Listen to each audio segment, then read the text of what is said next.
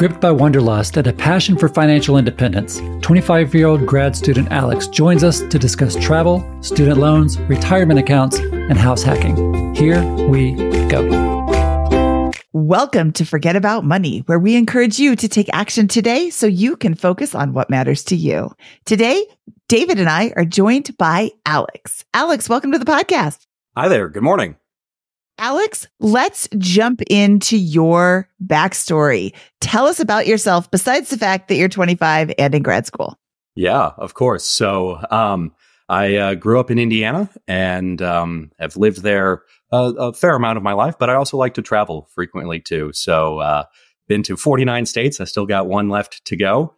Um, so we'll see if that's happening in January or not. I don't know. We're still trying to get those plans in order. Um, but yeah, just uh, grew up as the uh, the oldest child, or as I like to say, the premier child. Um, and uh, so I feel I feel a sense of responsibility to do things and do them right, and uh, and hopefully enjoy myself in the process. What's the missing state? Hawaii. What? That's like the best state. How do you? I mean, it's not the best state. Colorado's the best state, but how do you miss Hawaii? Go. Which island far, are you going to? It's, yeah, it's far, far, away. You know what? Um, they have um, planes and boats. Many ways to uh, get there. You can't drive, but planes and boats. Yeah, see, that's the problem. You know, I've done road trips to all the other states, and it's like I only understand the road trip sort of a deal, right? And so, um, yeah, Hawaii's just been that enigma for me. But uh, no, hoping to see if I can get out to Oahu um, and then, you know, do a little bit of island hopping if at all possible. It is possible. They have planes there too and boats. So you're 25 years old and you started traveling the world at or traveling the country at what age? And what is uh, the coolest story that you've got from all of those travels? Oh goodness gracious. So um the first trip I went on, I think I was allegedly my, or so my mom tells me I was about 6 months old.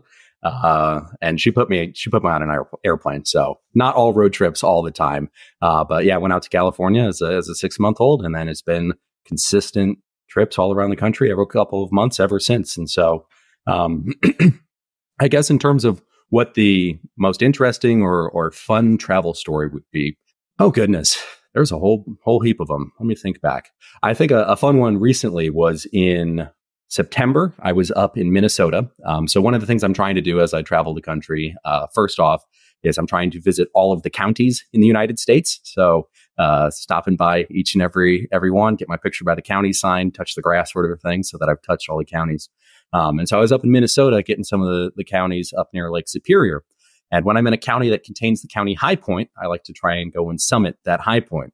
And so was up in uh, up in oh goodness, I forget the name of the county up there.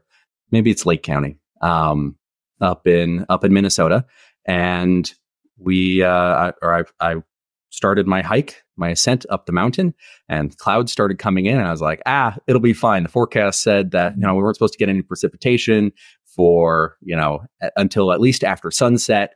Should be good to go. I've got you know another four hours of daylight. It's an hour and a half up to the summit. And so I'm like three hours, and I get that gives me an hour of cushion to get out of there before the storm.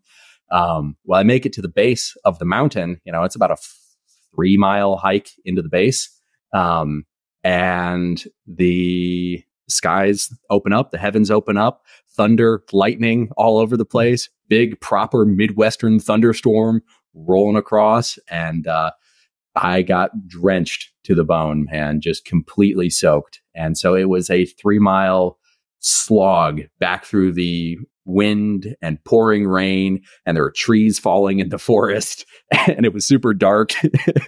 And so um, i would say that was probably probably an interesting or harrowing story. I eventually made it back to back to my truck and you know it was like wringing out my socks and and all that. But um yeah that was my first like serious solo hike as well. Um and so just being out of cell service range um, being on my own.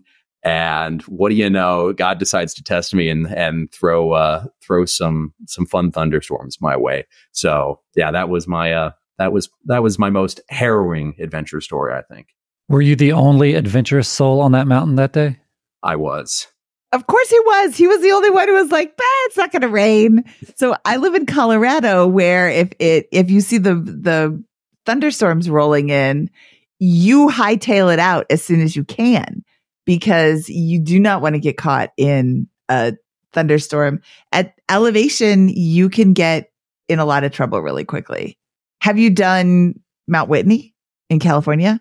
I have looked at Mount Whitney longingly. Um, so the we're we're focusing more on the eastern states um, now. So, like for instance, I just made the most arduous journey up Britton Hill, which is Florida's highest point.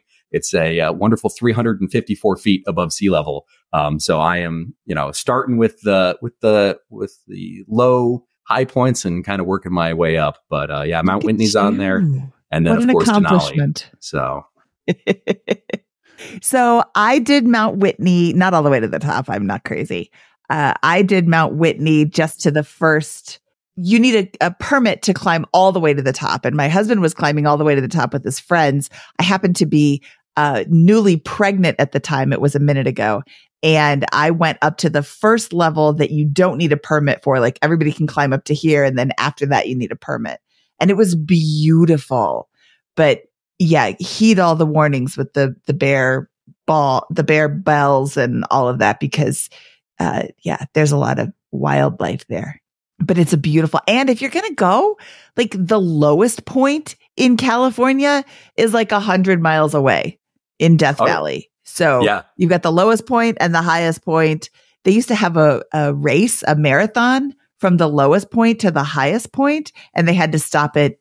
I don't remember why. You can look it up if you're interested, but that would be a really cool hike, just several days from the lowest to the highest point.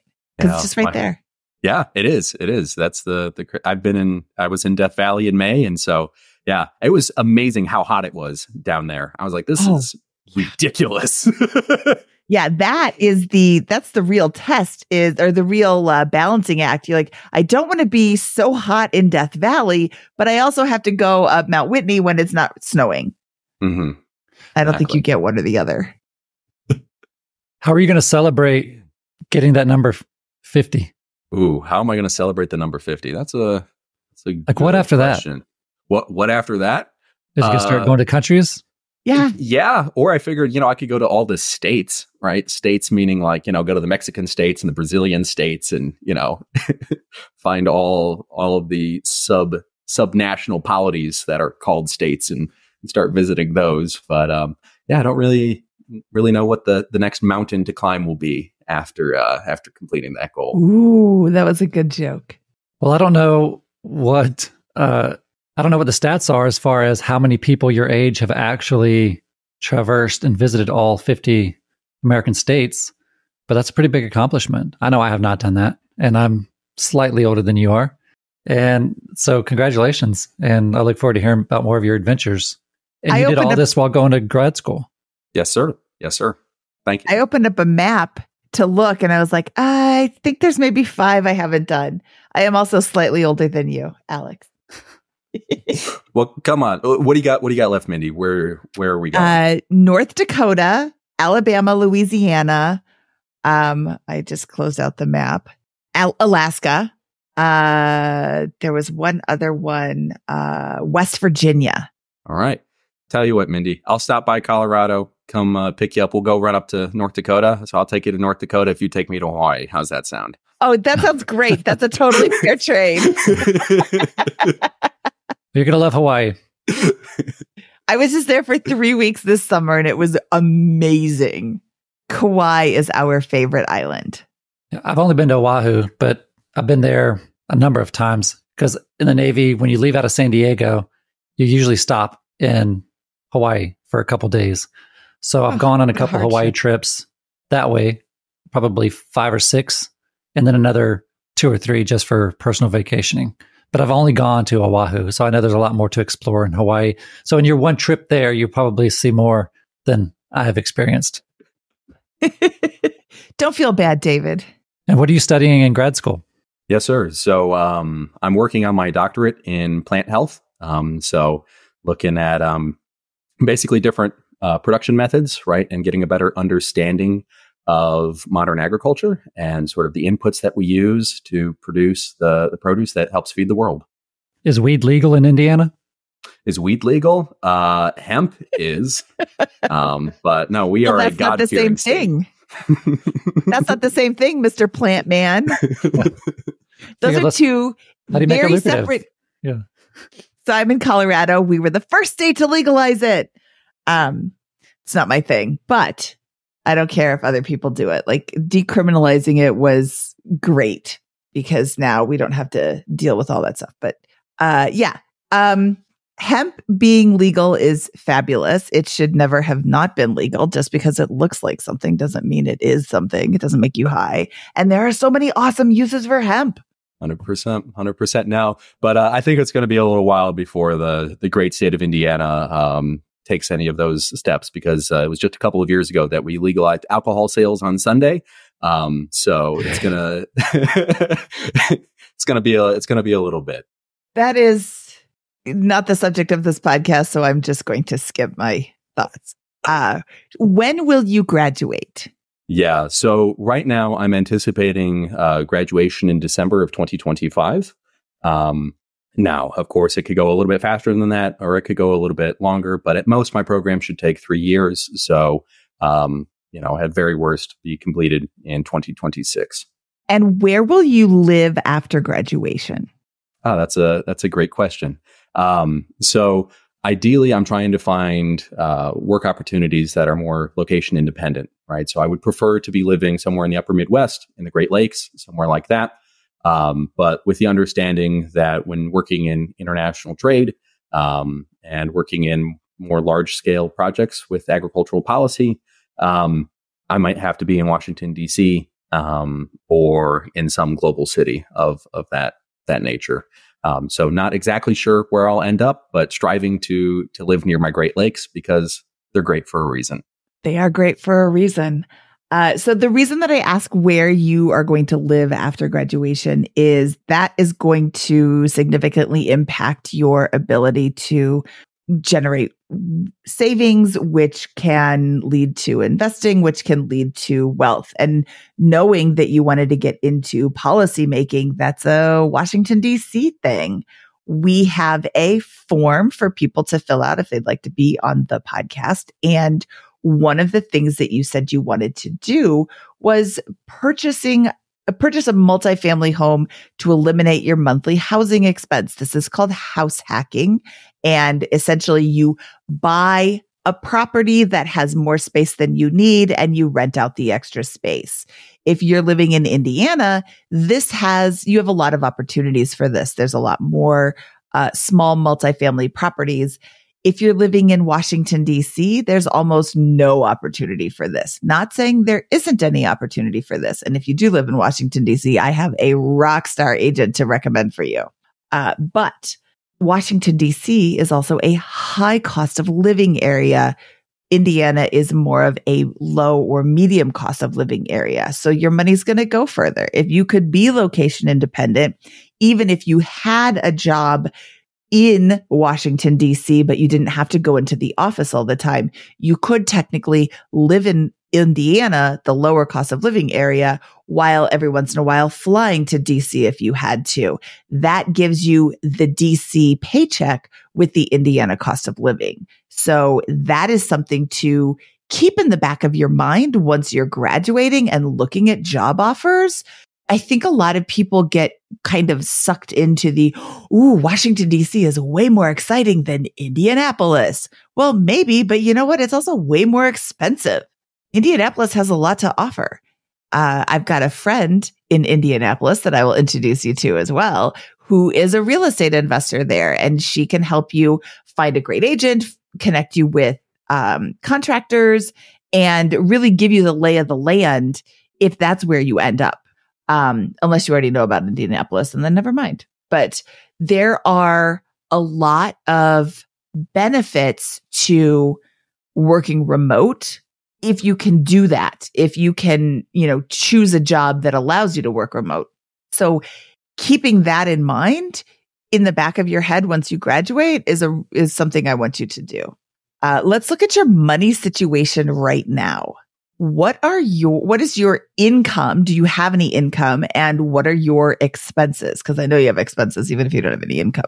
Yeah. So um, right now, um, just uh, doing a little bit of part time work. So making about fifteen hundred dollars a month.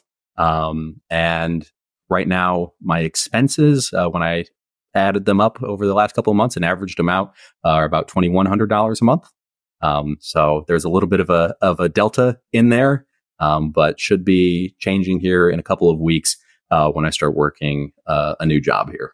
Okay, so what I like, uh, I, I I don't love these numbers because you should never have expenses that are more than your income. However, you're in grad school and it doesn't make any sense to work full time and let your studies suffer. So what I like about this is you said, my expenses, I added them up and then I averaged them out. That means you're keeping track.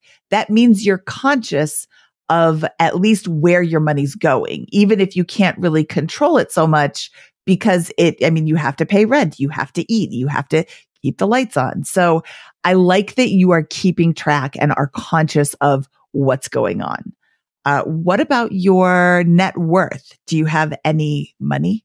Uh, yes. So, uh, thankfully, not all months are are like this month, um, and I have been able to accumulate some savings. So, um, you know, I've got about twenty grand in in cash uh, saved up, uh, and I have an additional 23, 25 grand um, in retirement accounts.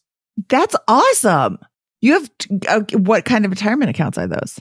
Uh, so it's in a Roth 403b uh, in a mix of uh, international and domestic large cap index funds.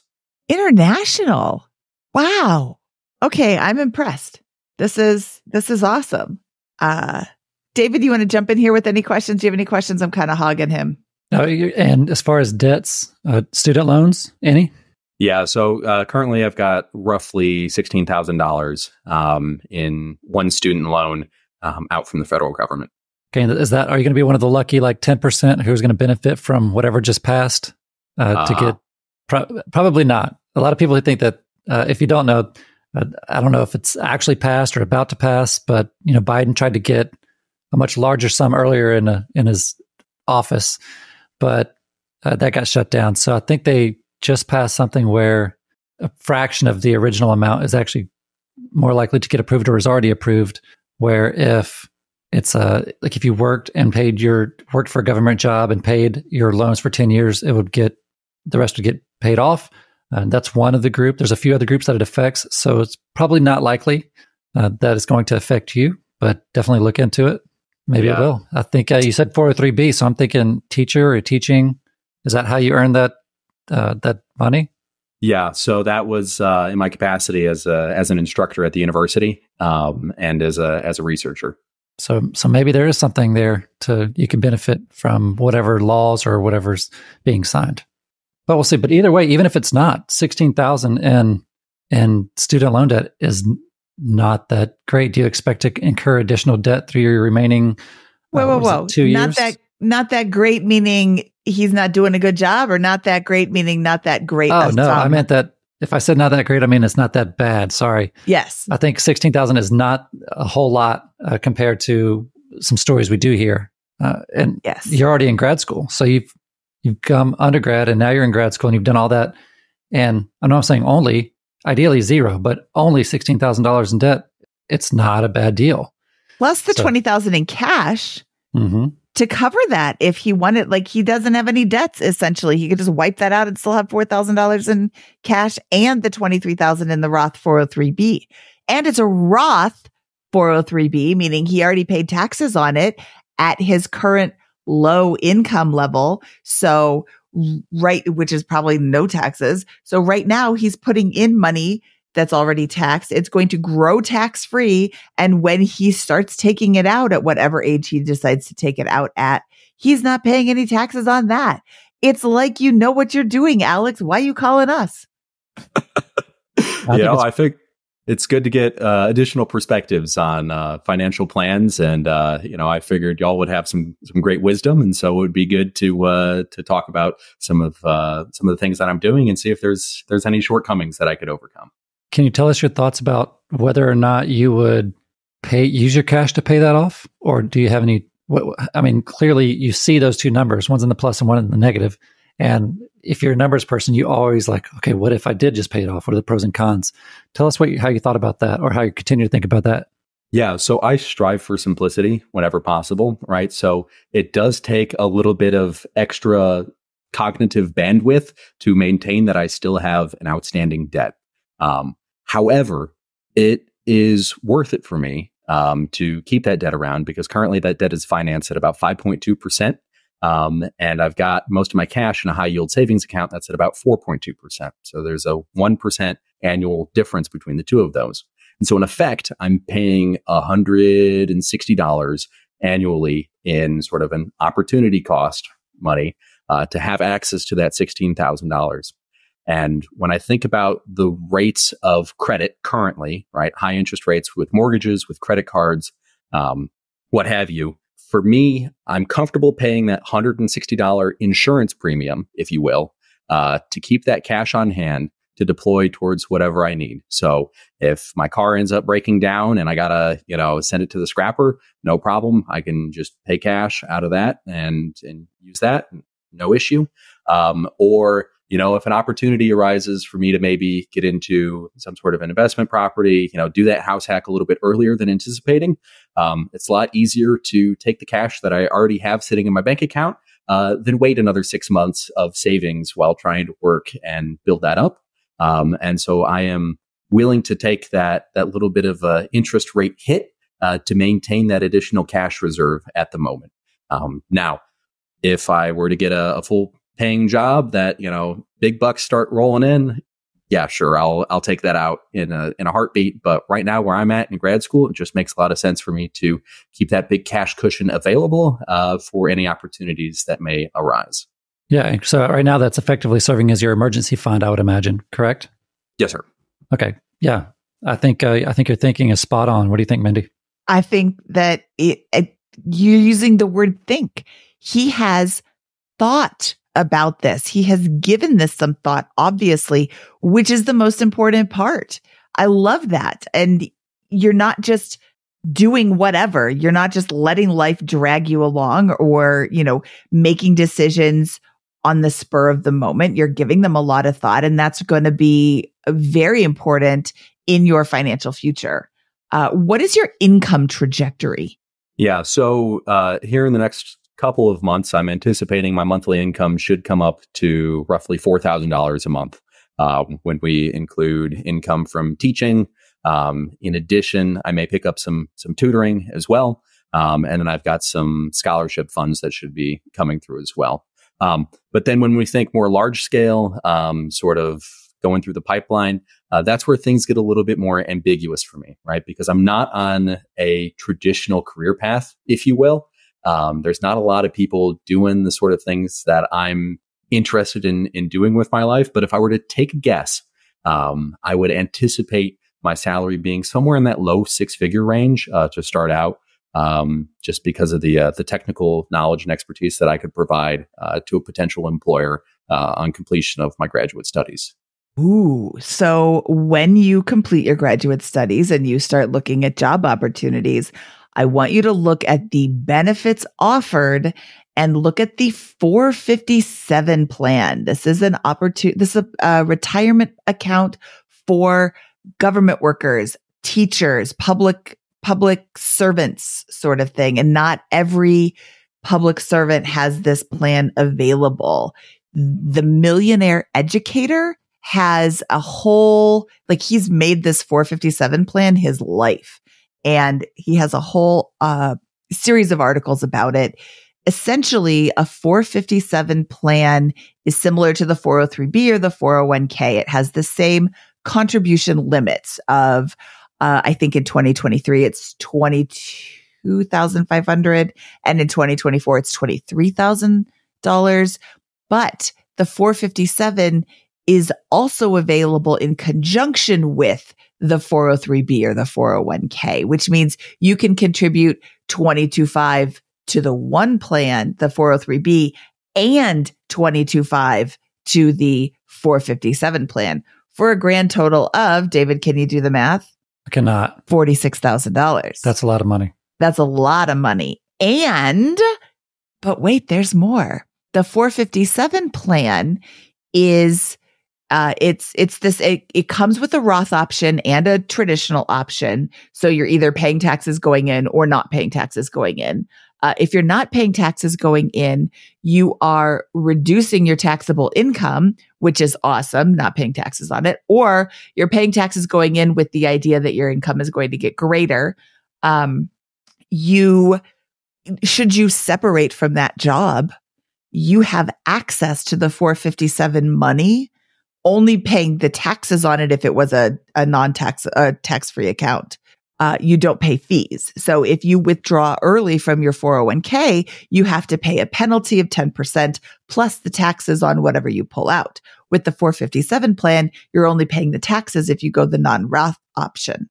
So when you are looking at jobs and talking to you, you're going to have multiple opportunities available to you. You're going to go in an interview and they're going to be like, yeah, we want to hire you. And like, hold up, I've got 47 more interviews. So you'll get 46 job opportunities because the one person's going to pass because they're morons. And then you're going to have to sort through them. It's not just salary.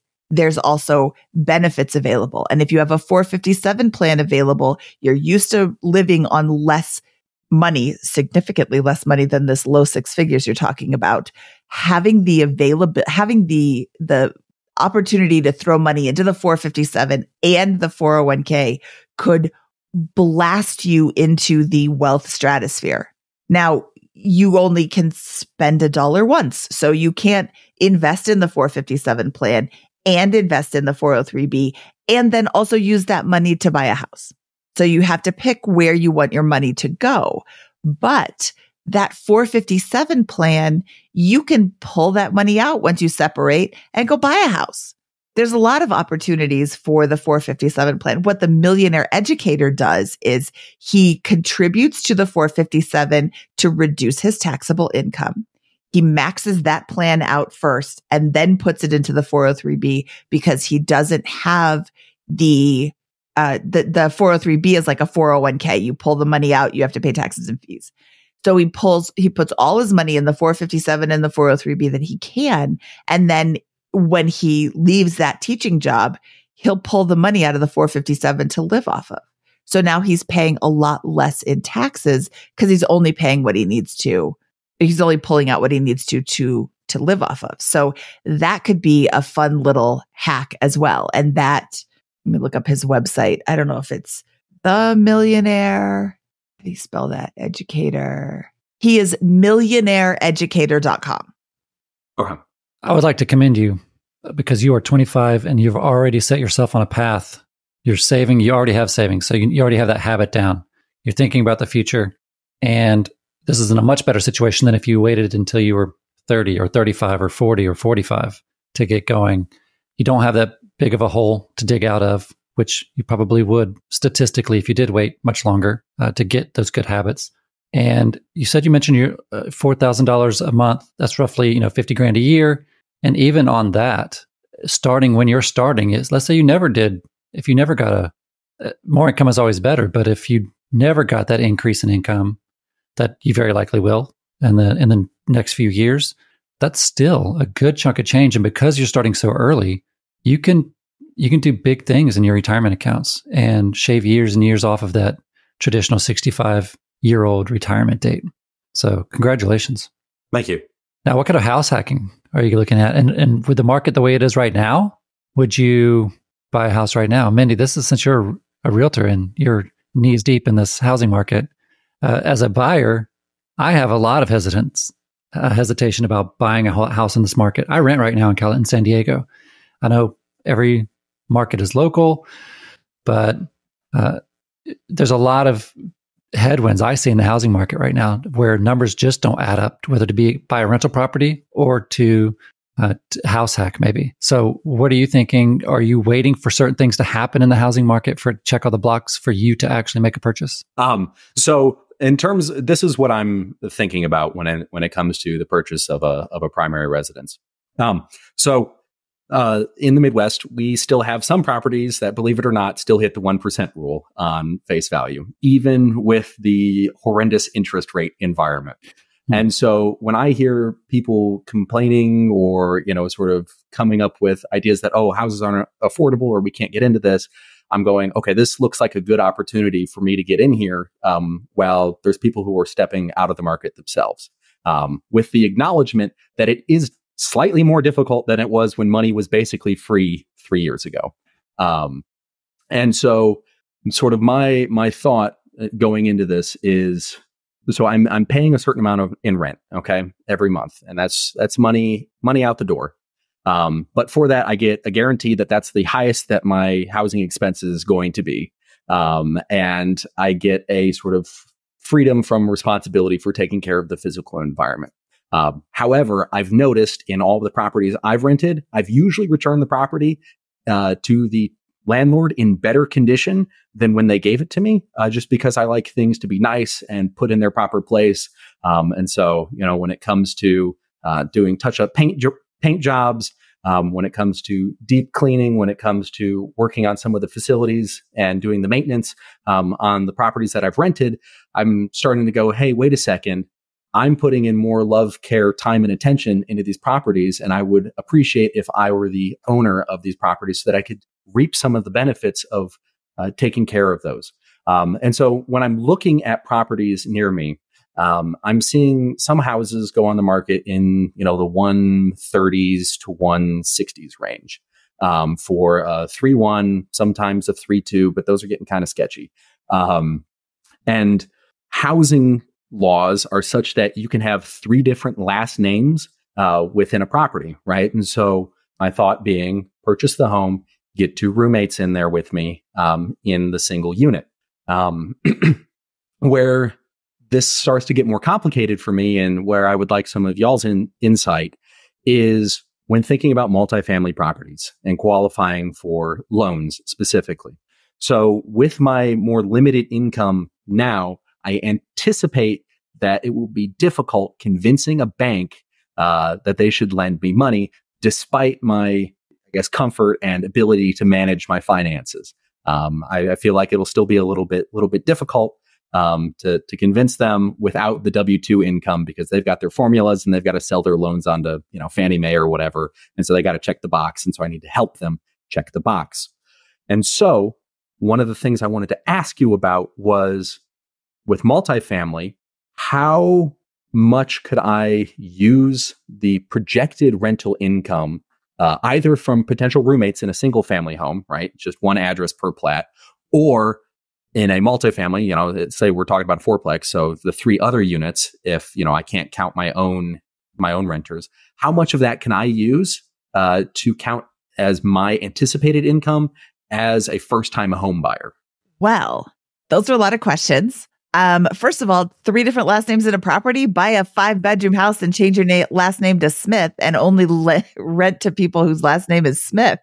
Problem solved.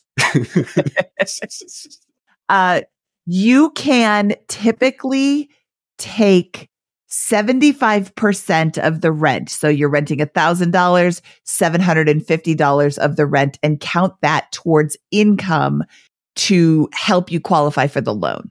Uh, there are different rules around multifamily versus your own property. So there's a couple of different ways to house hack. One is to buy a larger house than you need, a five bedroom house, live in one bedroom and rent out the other bedrooms. Another way is to buy a small multifamily, a duplex, a triplex, a fourplex all of these properties can be purchased with a residential as opposed to a commercial loan. So anything under four units and under is a residential loan. So you buy uh, that and then you live in one unit and you rent out the remaining units. Um, with those, it uh, so if you if you rent out the the one house and you're renting out rooms, I think you have to have them rented out for a year. That's called stabilizing the property before you can count those rents. Um, but again, you check with a, a, a, lender; they'll be able to tell you exactly what they're looking for.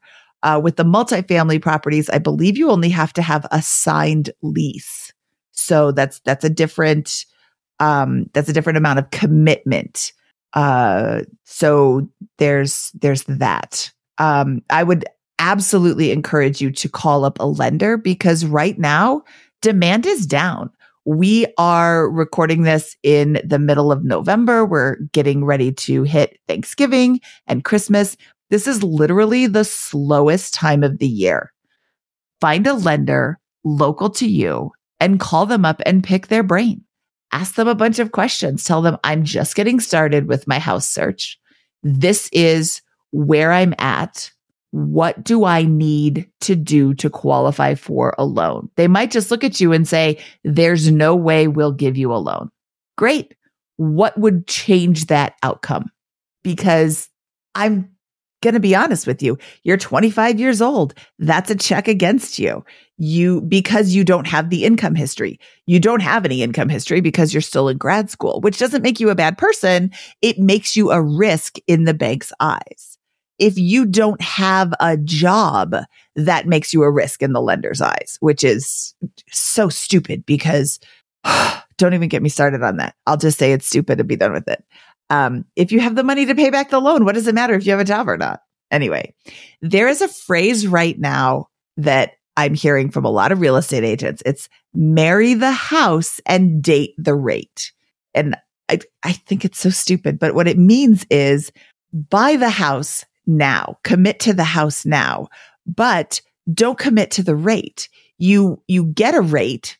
And then when rates start dropping, you look at what makes sense to refinance. So if you think about it, we have a, sh- a, housing shortage. In 2008, we stopped building houses. 2009, 10, 11, 12, 13, even into 14 in some places, 15 we weren't building houses. So there's a huge shortage over several years of not building. It's not going away anytime soon. I was just at the Bigger Pockets conference and Dave Meyer, the data analyst, gave this awesome slide. He said the impact of higher rates has demand down 40%. 40%. That's huge. But supply is at all time lows. Supply is down 40 5%, which means the prices are up 4%. And he, this is based on data. This isn't based on just his gut. Uh, we are 50% down from on home sales from July of 2021. This is huge. What this is saying is there's going to be pent up demand. It's, it's pending up right now, penting up right now. I don't know how to say that. Uh, accumulating. Yeah, it's accumulating. What a better way to say that, Alex. Thanks, thanks for showing me up, Alex. but it's it's like it's gurgling right now. People who don't want to have a seven percent mortgage eh, rate, people who can't get over the fact that interest rates are seven percent or can't afford a seven percent mortgage rate payment aren't buying houses right now. So if you could swing it, maybe you could get a cosigner. Maybe you could get a job that pays more. Maybe you can find a lender who will lend on 75% of rents. There's a lot of maybes out there that could allow you to get into a house now. Once you own the house, you're the only person that is bidding on that house when it comes to refinancing. But once mm-hmm. rates come down and there's a lot of talk that around 5% is when demand is going to skyrocket again. So once rates come down two percentage points, uh, rates are just going to, or demand is going to go through the roof. But demand, the law of supply and demand says that when supply is low and demand is high, prices go up. So we're still in a low supply situation where that's not going to change for years because it takes a long time to build houses, to get a development approved. And not only did they stop building, they stopped planning. So now we've just started planning again. All of those houses are already sold. I mean, you go to a new build and right now there's, there's still houses available, but once those rates come down, they're all sold again. So if you can get yourself into a house now, when the rates come down, you're going to be able to refinance without the bidding war. But if you can't get into a house until rates come down, if they come down, there's no guarantee they're going to come down. But if you can't get in until rates come down, when they come down, if they come down, you're going to be competing with all these people who are, who have been waiting because they didn't want to, couldn't get over themselves or just simply couldn't afford it. So that's what marry the house, date the rate means. Uh, do you have any opportunities to get a cosigner? Um, that's something I haven't quite explored yet. There's some people I would be comfortable in asking and and talking to about that. Um, but my question, I guess, is more on the risk perspective, right? Because it's going to take for me to put a down payment on a house, right? So let's say you know I get a uh, like a conventional loan with the the five percent down, sort of a conventional loan. Um, so on a what hundred fifty thousand dollar house, that'll take most of my cash savings, right? And that'll have to go in and with closing costs and all that, most of that's going to be deployed. Um, you know, most of that buffer that I have currently is going to be deployed there, leaving me with just my Roth accounts um, as sort of a cash cushion. Um, but then also my roughly $4,000 a month in income plus the additional uh, rental income that I anticipate getting. From a risk perspective, Mindy and David, what are your thoughts on you know, the purchase of a home with that capital, with the understanding that that would be eliminating my housing expense and taking about $800 of my monthly expenses, you know, off the ledger line or moving that towards a, you know, an asset that I can recoup some value on. Well, I think that everything has pros and cons, and that's why you're asking this question. So once you put your money there, then you're not putting it into, maybe you're not maxing out based on your income. Maybe you're not maxing out your 403B or 401k or whatever it ends up being that you have. That's the opportunity cost. So not only that, you're mid 20s. When you get through grad, uh, grad school, you'll be 28. Uh, are you really going to be wanting to live with two or three other people? That I would say is much bigger than people realize because you just can't leave. Uh, I, look at my home as like my domicile, like it's like that's where I want to feel the most comfortable. And if there's uh, a visitor or if there's a na- whatever it is, it, it seems to be magnified. And then I don't want any potential negatives in my home because that's supposed to be where I feel the most comfortable and expect to be because it's my home and I'm paying for it. And that's where you spend a lot of your time. But if you have roommates who aren't ideal, or even if they are ideal, you still have roommates. It's a distraction. It's a consideration. It's mental bandwidth and maybe even emotional bandwidth that you've got to worry about. Those are all the costs that people just don't assume at the, at the before they make these decisions. So I would say absolutely give it more consideration. Now, if the numbers are overwhelmingly in favor and you have an out, what's your out plan? Are you you can do this for five years and then rent out or two or three years or whatever the maybe minimum requirement per loan for your loan agreement is, and then go buy a primary residence just for you and potentially a growing family. Who knows what your future holds?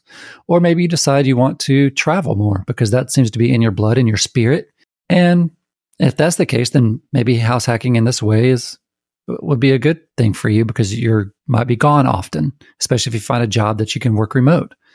So all of those considerations, I would say, do not downplay living with other people at a particular age uh, because I don't find it that fun.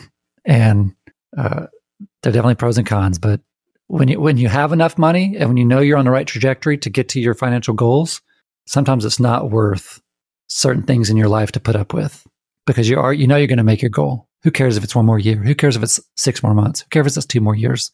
If it costs your happiness now, just don't do it. That's an interesting thought. My thought is the other way.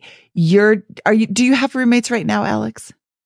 Uh, yes. Uh, yeah. So what a definitive I, answer. I'm in between housing. So, uh, I'm not I'm not in a fixed place right now, but I have had roommates for the last seven years. Um, I like having a lot of people in my home. I like having a lively house, uh, though it comes with the, the negatives. I grew up in a big family, and so having lots of people all around all the time is something that I enjoy. Um, so I prefer having roommates uh, when possible. Um, so I anticipate here uh, when I move into a, a, new place in the new year um, that I will uh, have roommates. Okay. So you have a different outlook on sharing your space than David does. And that is a positive for you and your house hacking uh, aspirations because you have never lived alone.